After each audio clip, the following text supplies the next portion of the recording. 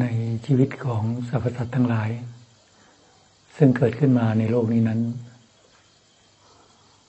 เราทั้งหลายก็มีกรรมเป็นของของตน มีกรรมเป็นผู้ให้ผล มีกรรมเป็นแดนเกิด มีกรรมเป็นผู้ติดตาม มีกรรมเป็นที่พึ่งอาศัย ใครทำกรรมที่ไม่ดีก็ให้ผลที่ไม่ดีใครทำกรรมที่ดีก็ให้ผลที่ดี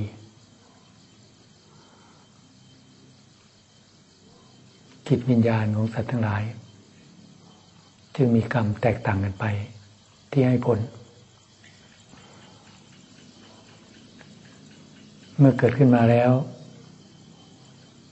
ในใจของสัตว์ทั้งหลาย ก็ยังมีความหลง ความไม่รู้ครอบงำจิตใจ ของแต่ละบุคคล ดวงใจนี้ จึงเต็มไปด้วยความโลภความโกรธความหลงครอบงำใจ และเป็นผู้ซึ่งสร้างภพสร้างชาติไม่มีวันจบสิ้น เพราะเมื่อใจมีความหลง ไม่ว่าจะเกิดในอัตภาพใด เกิดในภพชาติใด ก็จะยึดมั่นถือมั่นในภพในชาตินั้น ว่าเป็นตัวตน ว่าเป็นเรา แม้นความรู้สึกนึกคิดทุกสิ่งทุกอย่าง ก็ยึดมั่นถือมั่น ในความรู้สึกนึกคิด ทั้งเรื่องที่ดี ทั้งเรื่องที่ไม่ดี ทั้งอารมณ์ แห่งความโลภความโกรธความหลง ใจนี้ก็หลงยึดมั่นถือมั่นว่าเป็นใจ เป็นตัวเป็นตน ความหลงความไม่รู้นี่แหละ ที่ครอบงำใจทำให้กระจายไปครอบงำ บังคับบัญชา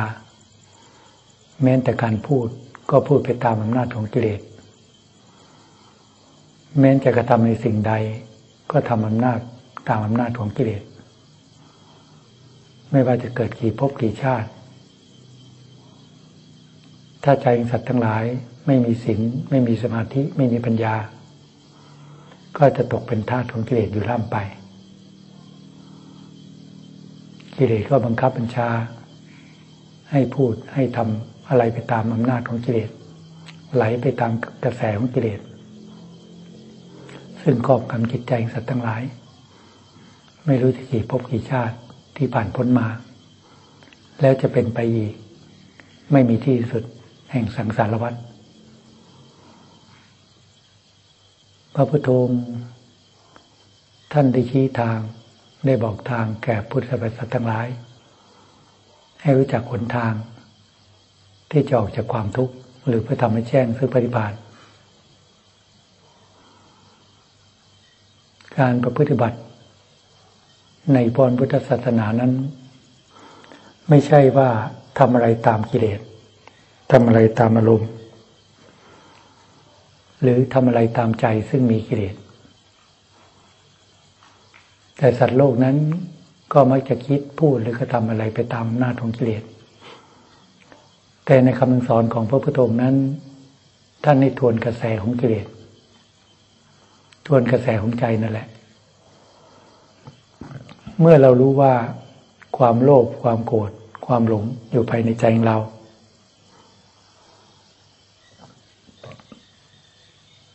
เราก็ต้องหาทางที่จะควบคุมจิตใจของเรานั้น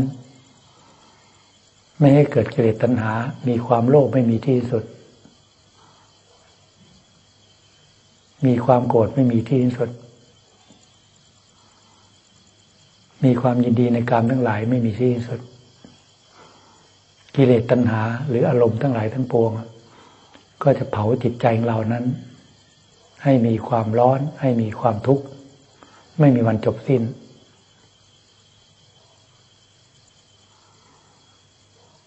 ถ้าบุคคลใดไม่เห็นความทุกข์ทางร่างกายและจิตใจ ถ้าไม่เห็นความทุกข์ด้วยใจ ก็จะไม่หาทาง ที่จะดับความทุกข์ หรือไม่หาทางที่จะพ้นตัวจากความทุกข์กำลังของความรู้ความจำของคนทั้งหลาย ก็คิดว่า รู้จักความทุกข์ทางร่างกาย ว่าทุกชีวิตหนีไม่พ้นความเจ็บความแก่ความตาย ทุกคนโดยมาก มักจะรู้จัก แต่ไม่เห็นความทุกข์ภายในใจ รู้จักตามความจำตามการได้ยิน แต่ไม่รู้จักปล่อยวาง เพราะยังไม่เห็นความทุกข์อันเป็นสัจธรรม โดยแท้จริงภายในจิตใจ คนทั้งหลายก็เลยล้มเพลิดเพลินอยู่ในภพในชาติ ไม่หาทางที่จะออกจากความทุกข์พระพุทธองค์ท่านจึงสอนให้เราทั้งหลาย ต้องฝึกหัดอบรมจิตใจของเรา ทวนกระแสของกิเลส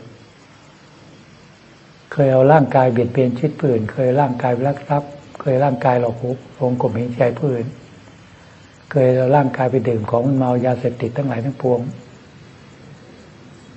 ก็งดเว้น ไม่กระทำตาม กิเลสตัณหาเคยพูดโขกหลอกลวงกันก็งดเว้น และละเอียดขึ้นมา รักษาศีลละเอียดขึ้นมาก็เป็นสมณเณรเป็นพระสมณเณรก็ศีลสิบพระศีลสองร้อยี่สิบเจ็ดละเอียดขึ้นมาเพื่อที่จะควบคุมสำรวมกายวาจางเราให้ได้ ให้มีสติวินัยสำรวม เพื่อควบคุมให้ละเอียดขึ้นไป ไม่ปล่อยอารมณ์ไม่ปล่อยกิเลสให้ออกไปทางกายทางวาจาเนี่ยทวนกระแส แม้นเคยอยู่ในสังคม อยู่ในหน้าที่การงานต่างๆ อยู่ในสังคมทั้งโลก ท่านก็ไม่ให้อยู่ ในสังคมแห่งความวุ่นวาย ท่านจึงให้หลีกเล้น หลีกเล้น หาอยู่ในฐานที่สงบสงัด ไกลจากรูปเสียงกิรสสัมผัส เพราะถ้าไม่หลีกเล้น อยู่กับกิเลส อยู่กับอารมณ์ อยู่กับรูปเสียงจิตสัมผัส อารมณ์ต่าง ๆ มีเยอะที่เกิดขึ้นไปในใจของเรา คือความโลภความโกรธ ความพอใจความไม่พอใจ อันเกิดกิเลสตัณหา อันปรุงแต่งอยู่ทุกขณะจิต สติปัญญาก็ไม่มีทางทัน เมื่อไม่มีทางทันต่ออารมณ์ก็หลงไปกับอารมณ์คิดพูดหรือก็ทำไปตามอำนาจกิเลสของกิเลสตัณหา ยิ่งคนทั้งหลายในโลกนี้ไม่มีศีลแล้วอะไรจะควบคุมกายวาจา ยิ่งคนทั้งหลายไม่มีสมาธิ แล้วอะไรจะชกควบคุมใจ ใจเลยถูกควบคุมด้วยกิเลสตัณหาทั้งนั้น ท่านถึงให้เมื่ออยู่ในสังคมเนี่ยก็แพ้กิเลสอยู่ล่ำไป ถูกกิเลสล้อม ถูกกิเลสตะลุมบอลไม่มีทางโง่หัวขึ้น สู้กิเลสไม่ได้ กิเลสครอบงำตลอด ไม่ว่าจะยืนเดินนั่งนอน ก็ถูกกิเลสครอบงำท่านจึงให้หลีกเล้งมาตั้งหลักซะก่อนหนีออกจากไกลสังคม ออกจากไกลความวุ่นวาย วางความกังวล วางหน้าที่การงานต่างๆ หลีกเล้น ออกมาเพื่อที่ตั้งหลัก เพื่อที่จะทำจิตใจเข้มแข็ง ที่จะต่อสู้กิเลส เพราะว่าอยู่กับกิเลสสู้ไม่ได้ หลีกเล้นมาอยู่ในฐานที่สงบสงัดเนี่ยเช่นพระเรานักบวช อยู่ตามสำนัก อยู่ในป่าบนเขา ตามสถานที่สงบสงัด หลีกเล้นบำเพ็ญภาวนา เพื่อที่จะทวนกระแสของกิเลส เอาศีลไปควบคุมกายวาจางให้สงบ คือธรรมวินัยนะสำรวม ในพระวินัย ควบคุมกายวาจาให้สงบสำรวมในข้อวัดไปบัติต่าง ๆ เพื่อที่จะไม่ให้เกเลสออก ไปตามกายวาจา หรือแม้นใจก็ตาม ก็ถูกควบคุมไว้ด้วยศีลในเบื้องต้นสำรวมอยู่ที่ใจ การที่จะสำรวมใจได้ก็ต้องทำสมาธิระมัดระวังไม่ให้กิเลสเกิดขึ้น เพราะกิเลสความโลภความโกรธ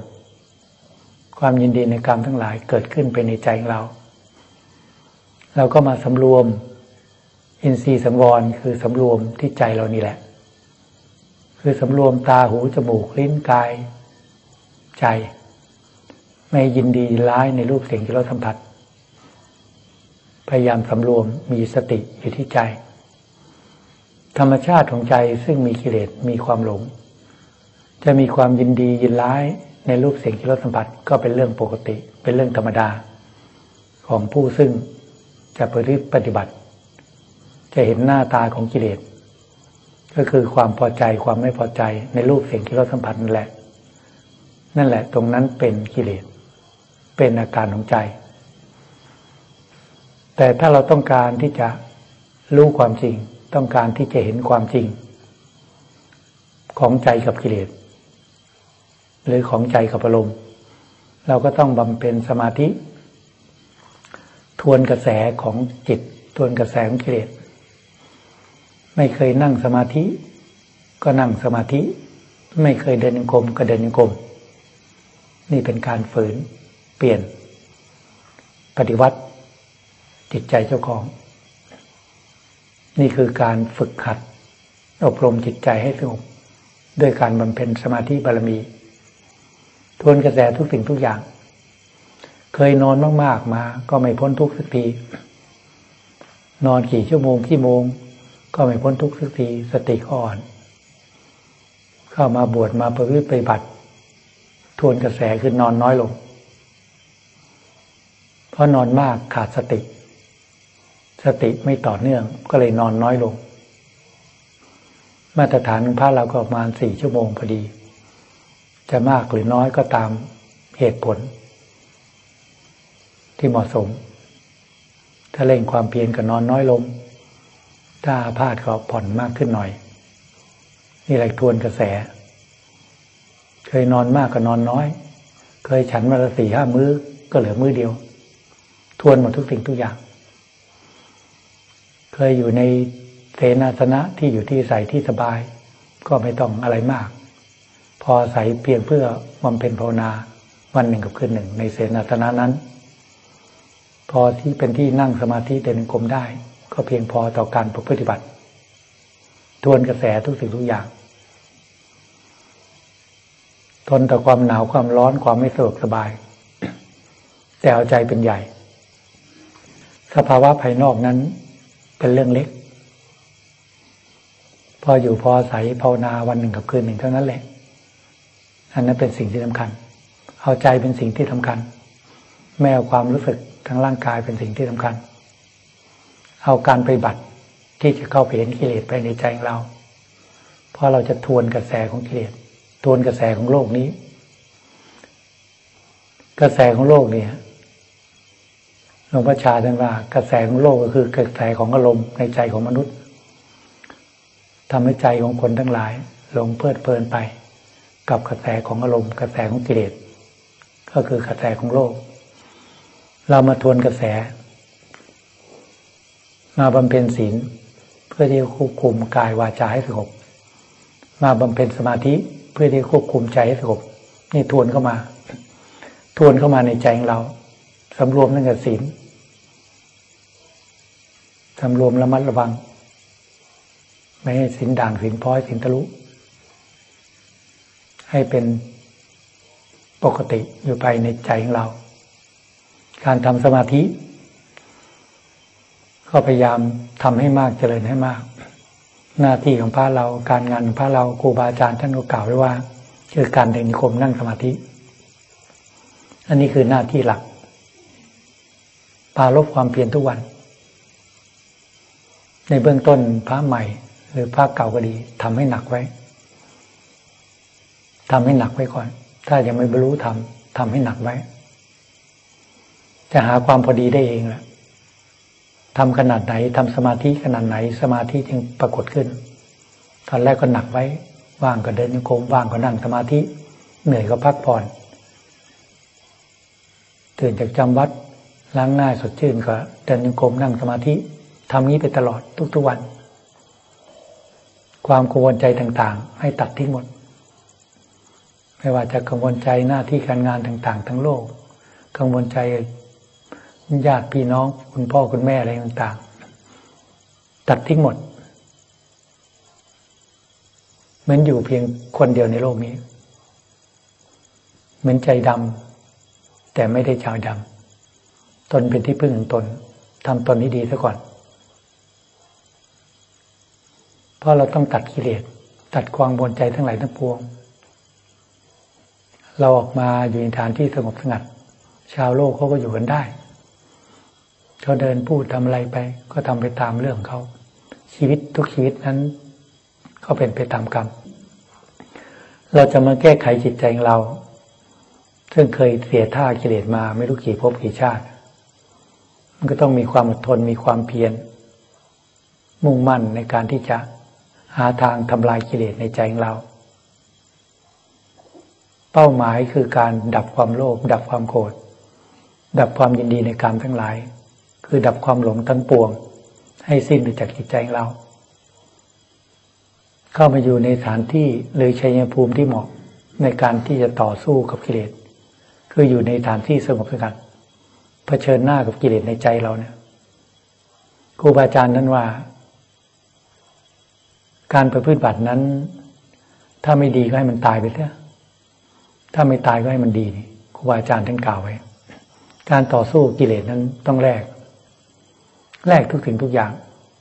ไม่ใช่ว่าฉันตลาดแล้วนะหน้าที่การงาน ฉันสละแล้วชีวิตครอบครัวแล้ว แต่ก็มาเยาะเยาะแยะแยะ ไม่ทำความเพียรไม่ปรารบความเพียรปล่อยวันเวลาให้ล่วงเลยไปในประโยชน์ อันนั้นก็ยังใช้ไม่ได้ การต่อสู้กิเลสนั้นต้องแลก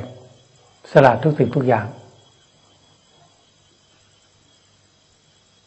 ครูบาอาจารย์จึงว่าสละทรัพย์สมบัติ สละทุกสิ่งทุกอย่าง เพื่อรักษา ชีวิตก็ตาม หรือรักษาสละไอวะ เพื่อรักษาร่างกายรักษาชีวิตเนี่ยหรือที่สุดแล้วแม้แต่ชีวิตก็ยอมสละเพื่อการรู้ธรรมเห็นธรรม ความมุ่งมั่นในการประพฤติบัตินั้น ต้องเต็มเปี่ยม มีความตั้งใจที่จะต่อสู้กับกิเลสในใจของเรา ไม่ต้องสนใจจริยาของบุคคลอื่น เสียงคนพูด หรือเพื่อนสาธมิสาสาธมิกพูดอะไร ก็รู้จักตั้งรับ ถ้าพูดอะไรไม่ถูกใจไม่ถูกหู ก็รู้จักตั้งรับ อย่าให้เกิดกิเลสอย่าให้เกิดความโกรธความไม่พอใจ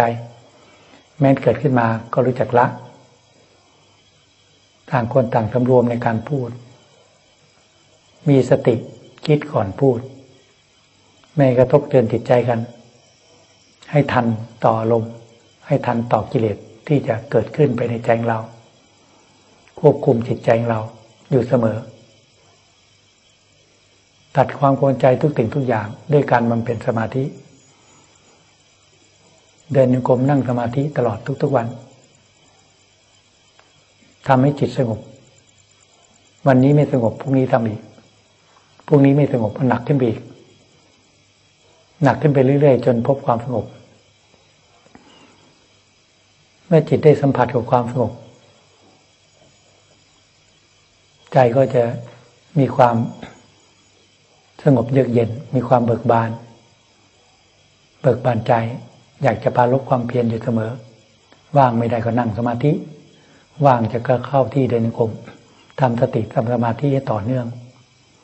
จนจิตเป็นหนึ่ง จนจิตเป็นหนึ่ง เป็นเอกตาโลมเอกตาจิต มีสติ มีสมาธิอยู่ในปัจจุบัน นั่นแหละ จึงจะพอมีเครื่องอยู่ เครื่องอยู่ของสมาธิคือความสงบเย็นใจ ความฟุ้งซ่านต่างๆ ก็หายลงไป แม้มีอารมณ์มีความคิดเกิดขึ้นก็ตาม สติปัญญาก็เห็นได้ชัด เพราะเราอยู่ในฐานที่สงบสงัดไกลจากรูปเสียงที่เราสัมผัส อารมณ์ต่างๆ เกิดขึ้นมาน้อย เมื่อเกิดขึ้นมาสติก็เห็นชัด และปัญญาจะพิจารณาละทำลายได้ง่าย เพราะเรามีสติมีสมาธิมีปัญญาเฝ้าดูจิตใจเราอยู่เสมอ เราจะเห็นอาการของจิต ซึ่งก็เพิ่มขึ้นที่ใจแล้วเราก็จะเห็นมีปัญญาที่จะทำลายที่จะละยิ่งพูดอยู่เสมอว่าความโลภเราละมาแล้ว วัตถุสิ่งของทรัพย์สมบัติไม่ต้องการไม่ใช่หรือเราเพียงอาศัยบริขารแปดปัจจัยสี่จากชาวบ้าน ก็เพียงเพื่อประพฤติปฏิบัติภาวนาวันหนึ่งกับคืนหนึ่ง กิเลสตัณหาอย่าให้มันเกิดขึ้น เราก็ต้องรู้จักพิจารณาปัจจัยทั้งสี่เครื่องอาศัยให้เห็นเป็นสักตะวาธาตุธรรมชาติแต่คนผู้อาศัยก็สักตะวาธาตุธรรมชาติ พิจารณาเพื่อให้คลายจากกิเลสตัณหา ความโลภความทะเยอทะยานอยาก แม้อารมณ์ความโกรธความไม่พอใจก็เช่นเดียวกัน ก็มีความมุ่งหวังที่จะทำลายที่จะละไม่ให้กิเลสความอาฆาตปฏิบัติความโกรธ เกิดขึ้นไปในใจเรา สติสมาธิซึ่งตั้งมั่นอยู่ในปัจจุบันจะเห็นอารมณ์ตลอดนั้นกระตาเห็นรูปหูดินเสียงเกิดความไม่พอใจ สติปัญญาก็จะพิจารณาละอารมณ์ออกไป การประพฤติบัตินั้น แต่ละบุคคลต้องเป็นผู้ซึ่งตั้งรับ ถ้าเราคิดว่าอารมณ์เกิดมาจากเพื่อนสัตมิกมาพูดหรือมากระทำอะไรให้เราเกิดความโกรธเกิดความไม่พอใจ อันนั้นไม่ต้องไปโกรธเขาเขาทำอะไรก็ทำเหมอจะพูดอะไรก็พูดเหมอฉันจะไม่โกรธเอามาเลย จะพูดกี่ร้อยประโยคก็พูดมา เหมือนกับลมผ่านมาและผ่านไป มีหน้าที่ตั้งรับ มีหน้าที่ละอารมณ์ไม่เกิดขึ้น ทุกๆคนต้องมีหน้าที่รักษาใจตัวเอง ถ้าเรามีสติมีสมาธิใครจะพูดอะไรมา ก็เหมือนลมผ่านมาก็ผ่านไป เกิดขึ้นก็ดับไป ถ้าเกิดอารมณ์ความไม่พอใจเกิดขึ้น จะถืออารมณ์นั้น เป็นตัวเป็นตนเป็นเราก็ตาม เราก็ต้องเห็นว่าเป็นความทุกข์เราก็ต้องหาทางละหาทางลุ้นดับให้เร็วที่สุดหาบายที่จะพิจารณาละอารมณ์ ความโกรธความไม่พอใจไปจิตใจให้เร็วที่สุด เราไม่ชอบใจคนพูดมา ก็พิจารณาให้เห็นเป็นธาตุธรรมชาติก็ได้ คนที่พูดก็สักแต่ว่าธาตุดินธาตุน้ำลมธาตุไฟ เราก็เป็นสักแต่ว่าธาตุธรรมชาติ เป็นแต่ว่าธาตุดินธาตุน้ำลมธาตุไฟ เกิดขึ้นมาเดี๋ยวก็แตกด้วยกันไม่มีอะไร จะไปโกรธไปเกลียดกันทำไม มันเป็นความทุกข์ก็หาทางดับหาทางละทุก ๆขณะจิต เป้าหมายเนี่ย แห่งการละทวนกระแสเข้าไปในใจเรา มีความโกรธอยู่ไหม มีก็ละไปเรื่อยๆ มีความโลภอยู่ไหมก็ละให้มันหมด มีความโกรธก็ละให้มันหมด มีความยินดีในกามทั้งหลายไหม มีความพอใจ มีความไม่พอใจ ในรูปเสียงรสสัมผัสมีหรือไม่ ถ้ามีก็บำเพ็ญสมาธิจนติดทรงสมาธิ มีสติ มีสมาธิตั้งมั่นอยู่ในปัจจุบัน ถ้าเห็นรูปอารมณ์ความพอใจเกิดขึ้นก็รู้จัก ถ้าเห็นรูปอารมณ์ความไม่พอใจก็รู้จัก หูได้ยินเสียง เกิดอารมณ์ความพอใจความไม่พอใจก็รู้จัก จะมีสติเห็นอารมณ์ และมีปัญญาพิจารณาเห็นความไม่เที่ยงของอารมณ์ละได้ทุกอารมณ์ทำจิตให้เป็นกลาง เป็นอุเบกขา เมื่อสติปัญญาพิจารณาเห็นความไม่เที่ยงของอารมณ์ก็วางไปเรื่อยๆ ทุกๆขณะจิต จิตก็ว่างจากอารมณ์ มีสติเฝ้าดูอยู่ที่ใจทุกย่างก้าวของจิต เหมือนกับการก้าวเดินไปตามท้องถนนหลวงพ่อชาท่านว่าเดินไปตามท้องถนนเนี่ย เจอแก้วแตกก็หยิบโยนทิ้งข้างทาง เจอตะปูขวางทางอยู่ก็หยบโยนหยิบโยนทิ้ง เจอหนามขวางทางอยู่ก็หยิบโยนทิ้ง เดินไปเรื่อยๆทำทางทำทางเดินให้เตียนให้โล่งทุกการย่างก้าวของจิตก็เหมือนกัน ทุกขณะจิต ถ้ามีสติมีปัญญาเห็นอารมณ์เกิดขึ้นนั่นแหละ โยนทิ้งไป เห็นอารมณ์ความโลภเกิดขึ้น โยนทิ้งไป เห็นอารมณ์ความโกรธเกิดขึ้น โยนทิ้งไป เห็นอารมณ์ความยินดีในการทั้งหลายเกิดขึ้น โยนทิ้งไปทำทางให้มันว่างทำใจให้ว่าง ว่างจากอารมณ์ ว่างจากกิเลส แม้นมีอารมณ์ก็พิจารณาไป เรื่อยๆ ทุก ๆ ขณะจิต จะมีขี่อารมณ์ก็แล้วแต่ เป้าหมายในเบื้องต้นก็กิเลสแดงหยาบ ซึ่งเห็นได้ชัด คือความโลภเห็นได้ชัดก็พิจารณาละไป ความโกรธความไม่พอใจ เห็นได้ชัดก็พิจารณาละไปเป้าหมายนะแม้นความพอใจความไม่พอใจในรูปเสียงรสสัมผัสก็เห็นได้ชัด ก็พิจารณาละไปละออกจากใจมันก็ว่างนะใจว่างจากอารมณ์มีสติ มีสมาธิตั้งมั่นอยู่ในปัจจุบัน วันนี้พิจารณาละกิเลส สิบอารมณ์สิบเรื่อง พวกนี้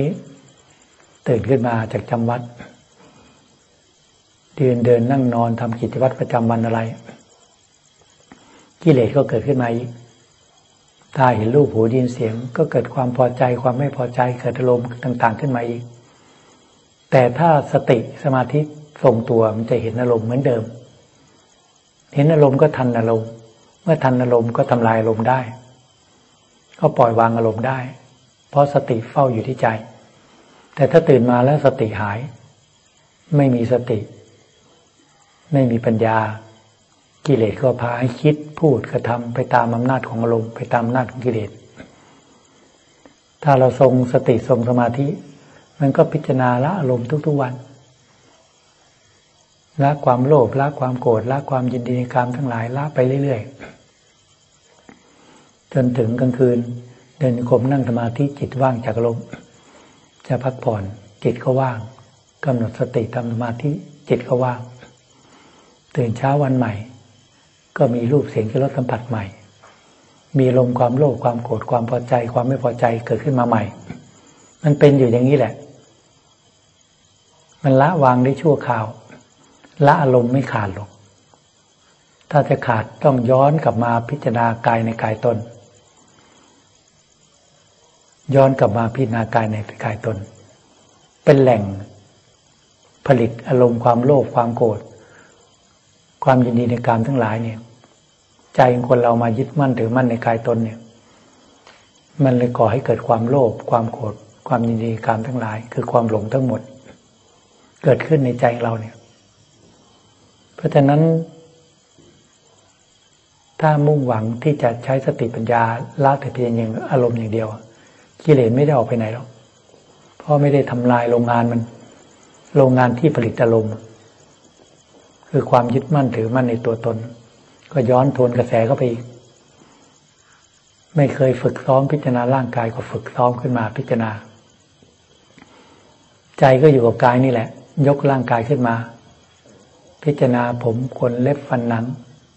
ให้เห็นเป็นปฏิกูล หรือจะพิจารณาส่วนใดส่วนหนึ่ง ในอาการสามสองให้เห็นเป็นปฏิกูลหรือจะพิจารณาทีละอย่าง ค่อยๆ สอนจิตให้เห็นเป็นปฏิคุณไปเรื่อยๆ จิตยอมรับตรงไหนจิตก็จะเข้าสู่ความสงบ มันจะปล่อยวาง การพิจารณาแล้วเข้าสู่ความสงบเอง หรือจะพิจารณาสุภาพกรรมฐานก็ยกร่างกายขึ้นมาพิจารณากำหนดสุภาพกรรมฐาน เน่าบางแห่งบาง พิจารณาแยกแยะ ให้เห็นความเสื่อมความแตกสายลงไป ถ้าจิตเห็นมันก็จิตก็จะปล่อยวาง นิมิตกายตนกายบุคคลอื่นแล้วเข้าสู่ความสงบเอง เป็นธรรมชาติของจิต หรือจะถนัดพิจารณาธาตุกรรมฐาน ก็ยกร่างกายขึ้นมา แยกแยะพิจารณาให้เห็นเป็นธาตุดินธาตุน้ำลมสัตว์ไฟให้เห็นความเสื่อมความแตกต่างไม่ใช่ว่าจะพิจารณาครั้งหนึ่งก็หยุดพิจารณา ถ้าจิตมีกำลังแล้วก็พิจารณาทุกๆวันนั่นแหละ อย่างน้อยก็วันละครั้ง พิจารณาทุกๆวัน ซ้ำเข้าไป พิจารณาซ้ำๆบ่อยๆ ถ้ากิเลสมันยังไม่หมด ไม่สิ้นไปจากใจ ก็ไม่หยุดการพิจารณาหรอก เรื่องการพิจารณาร่างกายหรือการพิจารณาใจ ถ้ายังไม่หมดยังกิเลสยังงอกงอกงามขึ้นมา เราก็ต้องใช้สติปัญญา ตัดทำลายอยู่เสมอ มีอารมณ์ก็พิจารณาอารมณ์ จิตว่างจากอารมณ์ก็พิจารณากายในกายนี่แหละ ให้เห็นความเสื่อมความไม่เที่ยงความแตกสายลงไป ฝึกซ้อมพิจารณาบ่อยๆ มันจะเกิดความจำนาน ในการพิจารณาร่างกาย และจิตเข้าสู่ความสงบ แม้ออกจากยาบทนั่งสมาธิ ออกจากยาบทเดินกรมอยู่ในยาบททั่วไปยืนเดินนั่งหรือทำอะไร อยากจะพิจารณาร่างกายบุคคลอื่น ก็พิจารณาได้ให้เห็นความเสื่อมความไม่เที่ยง หรือจะกำหนดพิจารณากายในกายตนในยบททั่วไปก็กำหนดได้ตลอดเวลา เพราะความชำนาญของสติปัญญามี มีความแค่วคล่องชำนาญ พิจารณาเรื่อยๆ ถ้ามันไม่ละวางความยึดมั่นถือมั่นในกายตนเมื่อไหร่ ก็ไม่หยุดการพิจารณาแหละหลักง่ายๆพิจารณาซ้ำแล้วซ้ำอีกถ้ามันกิเลสยังไม่ยอมมันไม่วาง ไม่ปล่อยวาง ก็ไม่หยุดการพิจารณา ถ้ากำลังสติปัญญาไม่มีกำลังก็ต้องทำสมาธิ หลักง่ายๆ สมถะวิปัสสนาทำสมาธิทำจิตให้สงบ จิตสงบแล้วก็ใช้สติปัญญาพิจารณาเนี่ย สมถะวิปัสสนาอยู่คู่กัน มีทุกเวทนาทางกายเกิดขึ้นก็ตาม ก็พิจารณาทุกเวทนา ให้เห็นความจริงให้ประจักษ์ขึ้นที่ใจ ว่าทุกเวทนาก็สักแต่ว่าอาการอันหนึ่งเกิดขึ้นก็ดับไป เป็นอาการเนื่องด้วยกาย เป็นส่วนหนึ่ง ร่างกายนี้ก็ส่วนหนึ่ง ใจก็ส่วนหนึ่ง แยกใจออกจากกายออกจากทุกเวทนา ถ้าใจเห็นชัด ว่าทุกเวทนาเป็นเพียงอาการหนึ่งเกิดขึ้นระดับไป จิตก็เข้าสู่ความสงบอีกเพราะมันปล่อยวาง จิตก็เข้าสู่ความสงบที่ละเอียดขึ้นตามกำลัง จะพิจารณากายในกายก็ดี จะพิจารณาเวทนาในเวทนาก็ดี เวทนาทางกายเกิดขึ้น ก็พิจารณาเวทนาทางกาย เวทนาทางใจเกิดขึ้น คือความพอใจความไม่พอใจ ก็พิจารณา สติปัญญาจดจ่อจดจ้องเฝ้าดูใจของเรา มันจะเห็นกิเลสที่โผล่ขึ้นมาตลอด แล้วก็จัดการได้ หรือทำลายกิเลสไปในใจของเราได้ ทุกๆขณะจิต ตื่นขึ้นมาทุกเช้า นั่นแหละ เตรียมตัวกวาดล้างกิเลสในใจของเรา มีศีลเป็นพื้นฐาน มีสมาธิเป็นท่ามกลาง มีสติปัญญาที่สุด ตื่นขึ้นมา มีกำลังของศีลสมาธิปัญญา กวาดล้างกิเลสตั้งแต่เช้าจนถึงจำวัด ตอนคืนสี่ห้าทุ่มกวาดล้างกิเลสตลอด พรุ่งนี้เช้าตื่นขึ้นมาใหม่ศีลสมาธิปัญญาทรงตัว กวาดล้างอีก กวาดกวาดล้างทุกวันในใจของเรา ถ้ากิเลสยังไม่หมด ก็ไม่หยุดการกวาดล้าง การทำลายกิเลสตื่นขึ้นมาแต่ละเช้าสติตั้งมั่นอยู่ณปัจจุบัน ปัญญาสอดสายดูใจเจ้าของ กิเลสเกิดขึ้นเมื่อไหร่ ตีหัวจัดการทำลายลากไปทิ้ง นี่แหละทำลายไปตลอดทุกๆขณะจิต อย่าให้ความโลภครอบงำใจ อย่าให้ความโกรธครอบงำใจ อย่าให้ความยินดีในการทั้งหลายครอบงำใจ พิจารณากายในกายพิจารณาอยู่ทุกๆวันซักซ้อมพิจารณา สติปัญญาถ้าไม่คมพี่นาไม่เห็นก็พักจิตในความสงบทำสลับกันอย่างนี้ สมาธิสำคัญต้องเอาให้ได้นี่ต้องทวนกระแสขี้เกียจจะนั่งสมาธิขี้เกียจเดินยังคมก็ต้องฝืน เนี่ยหลวงพ่อชาท่านสอนไว้ ฝืนทำขยันก็ทำอยู่แล้ว ตามกิเลสตามความอารมณ์ แต่ขี้เกียจนี่ฝืน ไม่ทำตามกิเลส กิเลสไม่อยากให้ทำความเพียรเราจะทำความเพียรกิเลสไม่อยากให้นั่ง เราจะนั่ง กิเลสไม่อยากให้เดิน จงกรมเราจะเดิน กิเลสอยากให้นอนเราไม่นอน นอนก็ให้แต่พอดี พอพักผ่อนร่างกายพรุ่งนี้จะต่อสู้มันใหม่ นี่ ต้องมีอยู่ในใจอยู่เรื่อย ต้องปาลบความเพียรสติปัญญาจดจ้องหาทางที่จะละกิเลสไปในใจของเรา อย่าให้มันเกิดขึ้น เกิดขึ้นมาทำลายทุกขณะจิต ทำอย่างนี้ไปทุกๆวัน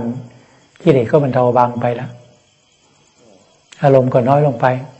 ถ้าพิจารณากายในกายละเอียดเข้าไปเรื่อยๆ จนมันเห็นชัดมันก็ค่อยๆ ปล่อยวางไปเป็นลำดับลำดับ ปล่อยวางนั่นแต่กายอย่างหยาบ ปล่อยวางกายอย่างกลาง สติปัญญาละเอียดขึ้น ปล่อยวางกายในกายนี้ที่สุด เนี่ย มันก็ปล่อยวางไปได้ อารมณ์ก็เบาไปหมดเหมือนโรงงานถูกทำลาย ถูกทำลายนี้อารมณ์ความโลภมันเกิดขึ้น เพราะ กิเลสตัณหาความยึดมั่นถือมั่นในกายตนนั้นถูก ใจเราทำลายโรงงานที่ผลิตอารมณ์ ความโลภความโกรธความยีในการทั้งหลายเนี่ยมันก็เลยไม่มีอำนาจ ไม่มีกำลังที่จะมาต่อต้านทำในใจของเรา กิเลสมันก็ยอมแพ้แล้ว ถ้าทำลายมันสิ้นซากความโลภก็เป็นเพียงอาการของใจ จิตมันก็ไม่ติด ไม่ยึดมั่นถือมั่น ไม่มีความโลภอะไร ถ้ามันละทำลายโรงงานแล้ว แต่ถ้าเราไม่ได้ทำลายต้นตอของมัน มันก็จะผลิตกิเลสตัณหาขึ้นมาอยู่เรื่อย ความโกรธมันก็จะไม่มีอำนาจ ไม่รู้จะโกรธอะไร ไม่รู้จะโกรธอะไร ไม่รู้จะโกรธใคร มันเห็นเป็นความทุกข์มันปล่อยวางไป มันเป็นเพียงอารมณ์เกิดขึ้นกระดับไป เป็นเพียงอาการใจไม่รู้จะโกรธทำไม เนี่ยมันถึงที่สุดแล้วมันก็ไม่รู้จะโกรธใครโกรธทำไม ไม่มีเหตุที่ต้องโกรธไม่มีเหตุผลที่จะเกลียดนี่การมุ่งหวังที่จะละกิเลสต้องละมันสิ้นซากความยินดีในการทั้งหลายก็เช่นเดียวกัน พิจารณากายในกาย พิจารณากายในกายตนให้มันละเอียด จนปล่อยวางไป พิจารณากายในกายบุคคลอื่นให้ละเอียด ปล่อยวางไป ละเอียดแล้วลงไปแล้ว เต็มที่เขาแล้วจิตเห็นชัดประจักษ์ขึ้นในใจมันปล่อยวางมันก็เหมือนกันหมด ไม่ว่าชายก็หญิงในโลกนี้เหมือนกันหมด สักแต่ว่าธาตุธรรมชาติประกอบด้วยธาตุดินธาตุน้ำลมธาตุไฟ เป็นอันหนึ่งเดียวกันทั้งหมดทั้งโลกเนี่ยร่างกายของมนุษย์และสัตว์สัตว์ทั้งหลายก็มีวิญญาณของเท่านั้นแหละต้นไม้ภูเขาแผ่นดินทั้งหลาย ก็เป็นสักแต่ว่าธาตุธรรมชาติอันหนึ่งนั้น แต่ไม่มีวิญญาณคลอง แต่ก็ไม่ต่างกันนะก็สักแต่ว่าธาตุธรรมชาติต้นไม้ก็มีธาตุดินธาตุน้ำลมธาตุไฟ ภูเขาก็มีธาตุดินธาตุน้ำลมธาตุไฟ แผ่นดินทั้งหลายก็มีธาตุดินธาตุน้ำลมธาตุไฟ วัตถุธาตุทั้งหลายในโลกนี้ก็สักแต่ว่าธาตุดินธาตุน้ำลมธาตุไฟ ร่างกายคนไม่ว่าชายหญิง ก็สักแต่ว่าธาตุดินธาตุน้ำลมธาตุไฟ มันเป็นอันหนึ่งอันเดียวกันเหมือนกันหมด เป็นสภาวะสมมุติเฉยๆเนี่ยถ้ารู้จักแล้วสมมุติ รู้จักสมมุติ เห็นสมมุติ ปล่อยวางสมมุติ จิตก็ถึงวิมุตติคือความหลุดพ้นคือการปล่อยวาง สิ่งทั้งหลายในโลกนี้จึงสักเป็นสักตว่าธาตุธรรมชาติเท่านั้นเนี่ยทะลุไปหมดจิตเลยว่างว่างหมดเนี่ยทำลายกิเลสอย่างหยาบ คือดับความโลภดับความโกรธดับความยินดีครับทั้งหลาย ดับแบบนี้อาวุธพระพุทโธท่านก็ให้วุธมาแล้ว คือศีลสมาธิปัญญาเนี่ยที่จะประหารกิเลส ทวนกิเลสเข้าไป ทวนเข้าไปทำลายในใจเจ้าของ ทำลายกิเลสที่อยู่ในใจเจ้าของนั่นแหละ คนทั้งหลายในโลกนี้ไม่จิตไม่ประกอบด้วยศีลด้วยสมาธิด้วยปัญญา จึงตกเป็นทาสของกิเลสเรานักบวชต้องมีศีลให้เข้มแข็ง มีสมาธิให้ตั้งมั่น มีสติปัญญาที่จะทำลายกิเลสได้ตลอดเวลา นั่นแหละคู่ต่อสู้ของเรา คู่ต่อกรของเราคือกิเลสในใจของเรา หาทางค้นคว้าหาทางทำลายพินิจพิจารณา ทุกแง่ทุกมุม ดูให้ละเอียด อย่าให้มีอยู่ภายในใจเราทำลายให้สิ้นซากถ้าทำลายกิเลสอย่างหยาบ คือความยึดมั่นถือมั่นในกายตนได้แล้วเนี่ย ค่อยไปดู ค่อยไปเผชิญหน้ากิเลสอย่างละเอียดกิเลสอย่างละเอียดคือความคือความหลงไปในใจอย่างละเอียด ที่หลงยึดมั่นถือมั่น เนี่ย ในเวทนาในสัญญาสังขารวิญญาณเนี่ยนี่อย่างละเอียด ท่านสมมุติในทางปริยัติว่าขันห้าขันห้าคือ รูปเวทนาสัญญาสังขารวิญญาณ ซึ่งใจเรายึดมั่นถือมั่น ทุกสิ่งทุกอย่างว่าเป็นใจนักปฏิบัติเบื้องต้นน่ะ รู้ตามความจำรู้ไปแล้วก็ปล่อยวางไว้นั่นแหละค้นคว้าพิจารณาทำลายรูปซะก่อน เรื่องเวทนาทางจิต สัญญาสังขารวิญญาณไม่ต้องสนใจแล้วทำลายรูป ปล่อยวางรูปในกายตนเมื่อไหร่นั่นแหละหมดเวลาแล้วนี่กิเลสกิเลสส่วนละเอียดมันก็โผล่ขึ้นมาเองแหละกิเลสส่วนละเอียดก็จะเกิดขึ้นมาเองภายในใจเราเพราะฉะนั้นถ้าเรายังกำลังของเราเนะ่ยยังไม่ละกิเลสอย่างหยาบกิเลสละเอียดไม่โผล่ขึ้นมาเองเนาะเราไม่สามารถที่จะต่อกรกิเลสได้หรอกกิเลสที่มันละเอียด อวิชชาความหลงก็เคยเปรียบเทียบอยู่เสมอ เหมือนว่ากองทัพของกิเลสกษัตริย์ วัฏจักรของกิเลส จอมพล จอมทัพของกิเลส ก็ถูกครอบล้อมด้วย ในพลลงมาก็ในพัน ในร้อยจ่าในสิบพลทหารอะไรต่าง ๆ เนี่ยห้อมล้อม เราจะไปทำลาย ในพลจอมทัพเนี่ยจะเข้าไปทำลายไง ก็ต้องฆ่าพลทหารให้ตายก่อนพลทหาร ในสิบจ่าในร้อยค่อยๆฆ่าไปฆ่าไปเรื่อยฆ่าในพันฆ่าไปในพันเข้าไปฆ่าในพลฆ่าไปเรื่อยนี่แหละ ต้องฆ่าลูกน้องก่อนฆ่าบริวารก่อนมินั้นไม่ถึงตัวจอมทัพหรอก นี้เราจะทำลายกิเลสในใจเรา จะพิจารณาจิตส่วนละเอียด จะพิจารณาเวทนาสัญญาทางการวิญญาณ ตามที่เราศึกษากันมาปริยัติก็ตาม มันก็ถูกอยู่ ปริยัติมันถูกอยู่ แต่ผิดตรงที่เราจะไปพิจารณาละกิเลสส่วนละเอียดก่อนกิเลสอย่างหยาบไม่มีทางได้ เพราะฉะนั้นน่ะจึงบอกว่ากิเลสอย่างหยาบคือความโลภความโกรธความยินดีในกรรมทั้งหลาย ละเอียดขึ้นมาหน่อยความพอใจความไม่พอใจรูปเสียงรสสัมผัสนั่นแหละ เป้าหมายเนี่ยทำลายให้หมดก่อนทำลายสิ้นซากก่อนทำลายอุปทานความยึดมั่นถือมั่นในกายตนให้ได้ก่อน นั่นแหละท่านนี้เผชิญกับหน้ากิเลสส่วนละเอียด การเผชิญหน้ากับกิเลสส่วนละเอียดนี้ก็ไม่ใช่ว่า สติปัญญาจะเก่งนะ จะแก้วกล้า จะว่องไวยังถูกกิเลสหลอกอีกก็ได้ อย่าคิดว่า ละความยึดมั่นถึงมั่นในรูปกายแล้วจะเหนือกิเลสความหลงอวิชชาถ้าไม่แน่แล้วไม่คลองโลกหรอกไม่คลองใจจิตใจสัพพสัตทั้งหลาย ในทุกในแต่ละภพแต่ละภูมิหรอกเนี่ยอย่านึกว่าละความยึดมั่นถือมั่นในรูปกายได้ สติปัญญาละเอียดแล้วแหลมคมแล้วจะไปทำลายกิเลสส่วนละเอียดโอ้ยกิเลสส่วนละเอียดก็หลอกอีกหลอกให้งงหลอก ถ้าต่อสู้กันบางทีก็ บางทีก็จะตายก่อนกิเลสเนี่ย ฝ่ายธรรมก็จะตายก่อนละถ้าเป็นตัวเป็นตนมันละเอียดมาก ดีเป็นอมตะทั้งคู่ ใจก็เป็นอมตะกิเลสก็เป็นอมตะ แต่ใจเราหลงเองไปยึดมั่นถือมั่นในอาการทั้งหลายทั้งปวง ซึ่งเป็นอาการของใจ เวทนาก็เป็นเพียงอาการของใจ ความจำได้ไม่รู้ก็อาการของใจ ความนึกคิดปรุงแต่งก็เป็นอาการของใจ การรับรู้ต่างก็อาการของใจเนี่ย แต่ใจซึ่งหลงก็ยึดหมดเป็นใจหมดนะมันทำลายกิเลสได้มันเพลิดเพลิน มีความสงบเยือกเย็นใจมีความว่าง ไม่เห็นกิเลสส่วนละเอียดไม่เห็นนะก็นี่แหละคือใจของเราทั้งหมด ใจของเราเหลือตรงนี้แหละกิเลสที่เห็นได้ชัดความโลภความโกรธความยีในกรรมทั้งหลายเราละแล้วได้แล้วนี่ จะมีอะไรกิเลสอยู่ไหน มองไม่เห็นนะ มองไปไหนก็ไม่เห็นสบาย สงบเยือกเย็นทั้งวันทั้งคืนไม่เห็นกิเลสก็กิเลสอยู่กับใจนั่นแหละ อยู่ด้วยกันแนบแน่นสนิทกัน แยกกันไม่ออก เนี่ยเพราะสติปัญญายังไม่ละเอียดพอ ไม่มีทางเห็นศีลก็ต้องทรงตัวอยู่แล้ว สมาธิก็ละเอียดขึ้นตามแต่ละขั้นตอน ยิ่งอารมณ์น้อยลงกิเลสน้อยลง สมาธิก็ละเอียดขึ้น สติปัญญาก็ละเอียดขึ้นไปอีก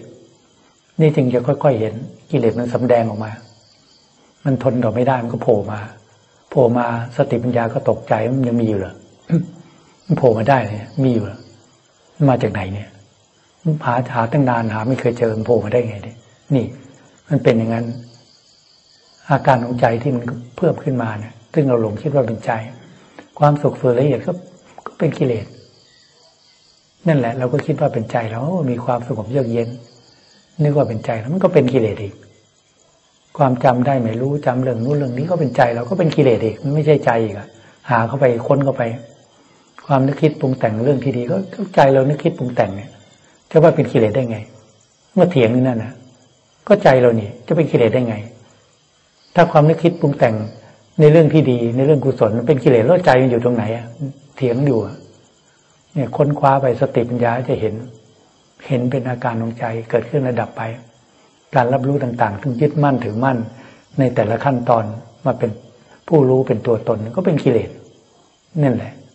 พิจารณาทำลายหมดหเห็นความไม่เที่ยงความไม่ใช่ตน ของอาการของใจที่มันละเอียด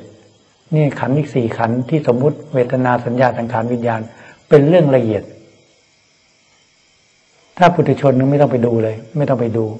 แม้นพระโสดาบันก็ไม่ใช่คู่ต่อกร แม้นพระสกิทาคามีก็ไม่ใช่คู่ต่อกร แม้นอนาคามีมรรคก็ไม่ใช่คู่ต่อกรอนาคามีผลเบื้องต้นก็ยังไม่ได้คู่ต่อกรที่จะไปเผชิญหน้ากับเวทนาสัญญาสังขารวิญญาณ ของจิตส่วนละเอียดเนี่ย ต้องรหัตมรรคเท่านั้นที่จะเผชิญหน้าต่อกิเลสส่วนละเอียด ที่จะพิจารณาจิตที่จะพิจารณาธรรม ให้แหลกละเอียดลงไป คือสับสิ่งทั้งหลายทั้งปวง มีความเกิดขึ้นมาแล้ว ก็มีความดับไปเป็นธรรมดาครับสิ่งทั้งหลายทั้งปวง ไม่ใช่ตัวไม่ใช่ตัวตน ให้เห็นจิตแยกออกจากสรรพสิ่งทั้งหลายทั้งปวง เป็นอิสระ เป็นธรรมชาติที่บริสุทธิ์และเป็นความรู้ที่บริสุทธิ์ที่ไม่ยึดมั่นถือมั่นในรูป ไม่ยึดมั่นถือมั่นในเวทนาทางกายและใจ ไม่ยึดมั่นถือมั่นในความจำได้ไม่รู้ ไม่ยึดมั่นถือมั่นในความรู้สึกนึกคิดปรุงแต่งทุกสิ่งทุกอย่าง แม้นการรับรู้ก็ไม่ใช่เรา ปล่อยวางทุกสิ่งทุกอย่างแล้วอะไรคือเราคือเรา เราที่เป็นกิเลสที่สมมุติไม่มี มีแต่สิ่งที่สมมุติขึ้นมาว่าเป็นธรรมชาติที่บริสุทธิ์ คือเป็นความรู้ที่บริสุทธิ์ที่เป็นอิสระ จากรูปเวทนาสัญญาสังขารวิญญาณไม่สามารถครอบงำใจได้ ใจจึงเหนือเป็นอิสระ ปล่อยวางทุกสิ่งทุกอย่างนี่ความหลงจึงจะดับลงไป ความไม่รู้จึงหายไป ความรู้ก็ปรากฏขึ้น คือปัญญา การที่จะดับความโลภดับความโกรธดับความหลงให้สิ้นไปจากใจจึงจะเหลือความบริสุทธิ์เกิดขึ้นมา การประพฤติบัติในพรพุทธศาสนาเนี่ย เห็นไหมต้องฝืนต้องทวนขนาดไหน จึงจะเข้าไปถึงทำลายหลังของกิเลสได้ ถ้าเราไม่ฝืนไม่อดทนไม่ทวนกระแส ก็ไม่สามารถที่ไปทำลายกิเลสได้ ตั้งแต่อยังหยาบอยังกลางอยังละเอียด ก็ไม่สามารถที่ทำลายได้ ถ้าเราปล่อยวันเวลาให้ล่วงเลยไปโดยเปล่าประโยชน์ อย่าประมาท แม้จะเป็นพระเป็นเลนก็ตาม อย่าประมาทโดยในเพศของเราก็อย่าประมาทพาลบความเปลี่ยนทุกๆวัน สมาธิยังไม่เกิดก็ทำให้มันเกิดขึ้นคำสอนของพระพุทธเจ้าคำสอนของครูบาอาจารย์ ก็สืบต่อกันมาจนถึงทุกวันนี้ก็ไม่มีอะไรมาก เรื่องการที่จะทำลายความโลภความโกรธความหลง ก็ให้บำเพ็ญศีลสมาธิปัญญาสำรวมในข้อวัดปฏิบัติต่าง ๆสำรวมในพระปฏิโมกข์ สำรวมในอินทรีย์สังวรสำรวมทุกสิ่งทุกอย่างเพื่อมีสติปัญญาเห็นกิเลสในใจเรา ตัดทุกสิ่งทุกอย่างออกหมด